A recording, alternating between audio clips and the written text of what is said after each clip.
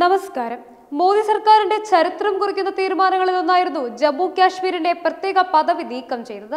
കാലാകാലങ്ങളായുള്ള വലിയൊരു തലവേദനയാണ് ഇതോടെ അവസാനിച്ചത്.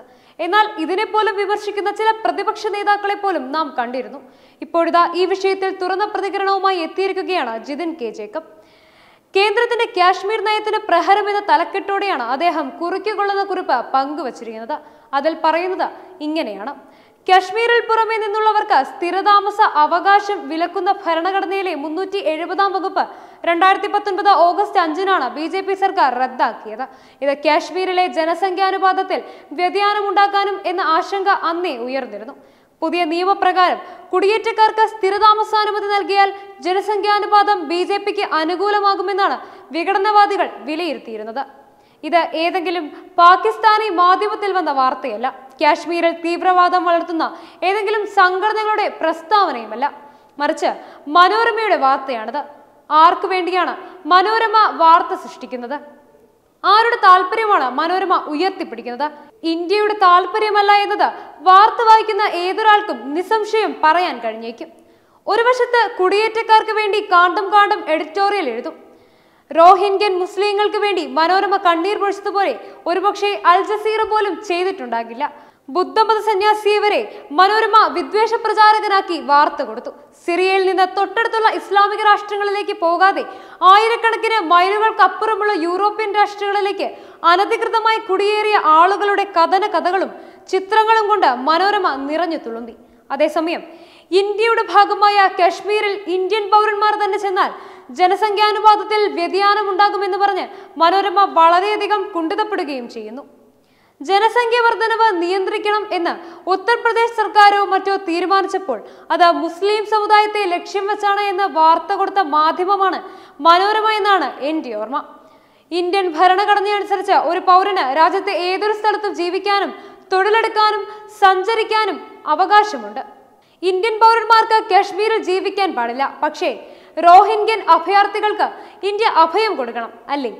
ലക്ഷക്കണക്കിന് കശ്മീരി പണ്ഡിറ്റുകളെയാണ് കശ്മീരിലെ ഇസ്ലാമിക ഭീകരർ ആയിരത്തി തൊള്ളായിരത്തി തൊണ്ണൂറുകളിൽ അവിടെ നിന്ന് തോക്കിൻ കുഴലിലൂടെ പുറത്താക്കിയത്.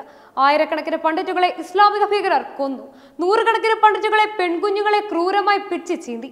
പക്ഷേ അതൊന്നും മനോരമ പോലുള്ള മാധ്യമങ്ങൾ കാണില്ല.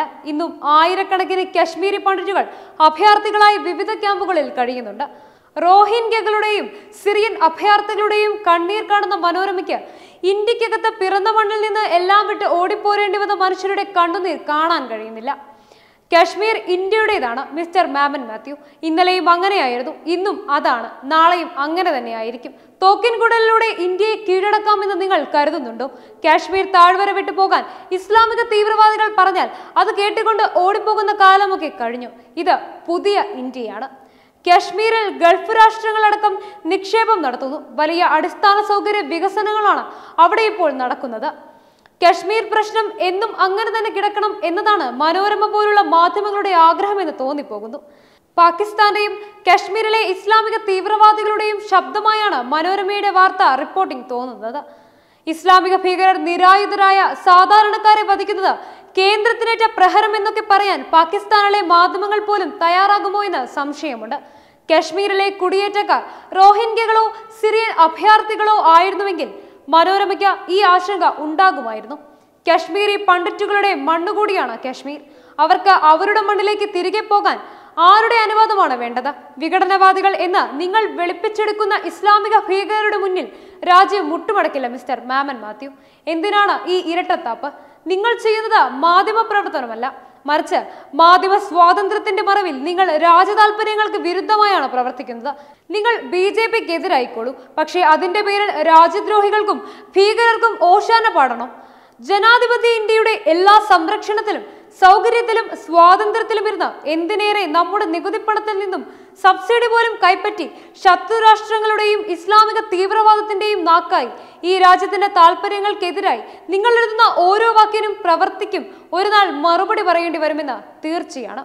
Web desk Tatwamayi news